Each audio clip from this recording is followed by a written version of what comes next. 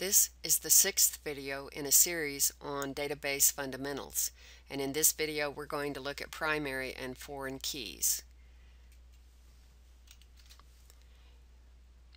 For this video it's assumed that you're already familiar with the relational data model terminology and the database terms that correspond to those data model terms.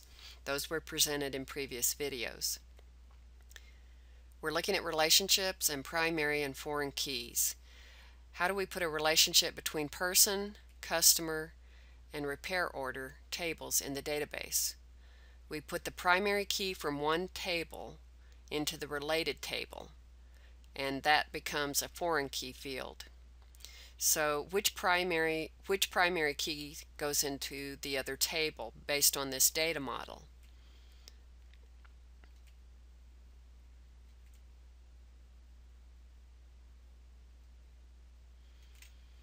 A foreign key is a field in one table that corresponds to the primary key field in the related table. We know which primary key to put in a related table in this example because of the one side and the many side. The rule is in a one-to-many relationship the many side gets the foreign key. So we will take the primary key from customer and put it in repair order. So the primary key from person, which is pers ID, has a corresponding column in the related customer table. Now this is a one-to-one -one relationship and technically in one-to-one -one, you can put the foreign key on either side but for practical reasons we have decided to put the foreign key on the customer side. The uh, pers ID column in customer is the foreign key is the foreign key column. The primary key in customer is cust ID. You remember the primary key uniquely identifies each row in the table. So that primary key in customer is going to have a corresponding foreign key column in repair order.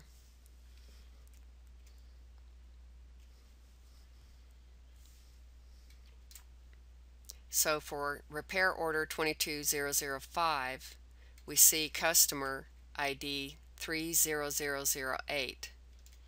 We can trace that back to the customer table and once we find that number we can go across on that row to the pers ID value which is 1008. We can then go to the persons table and take that 1008 and see that this is a repair order for a customer whose name is Joseph Kubek. Using the foreign key field to link related data is an essential element of relational databases. It reduces data redundancy.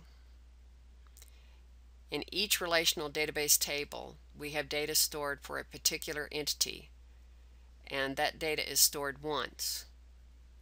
We have to get it right, and we can update it, and it will be high data quality that can be referenced by other tables and other applications because we have it stored once in one location. In the example below there are two repair orders for Joe Kubek.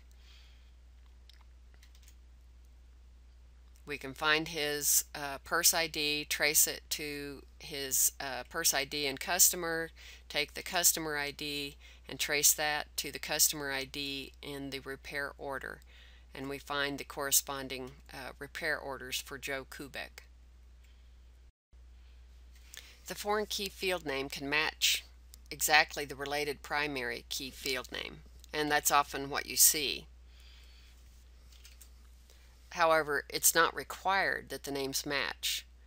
What has to match in a primary key column related to a foreign key column is that the data type is the same. So the foreign key column is the same data type and field size as its related primary key column. And there are a couple of situations where you cannot match the primary key and the foreign key field names, and you'll see those uh, in later examples.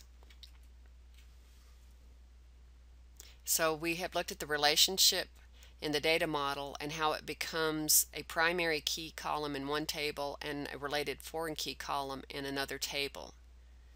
Storing data in separate tables gives us high data quality and reduces data redundancy. We know where to go to update or find the data for that particular customer.